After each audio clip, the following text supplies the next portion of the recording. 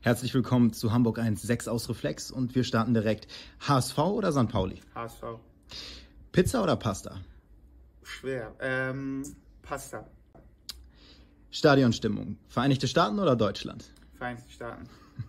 Nach dem Spiel lieber ein Burger oder doch ein Döner? Ein Burger. Duell am kommenden Wochenende. Brady oder Rogers? Wer wird gewinnen? Brady. Und das letzte Expertenmeinung. Wer holt dieses Jahr den Super Bowl?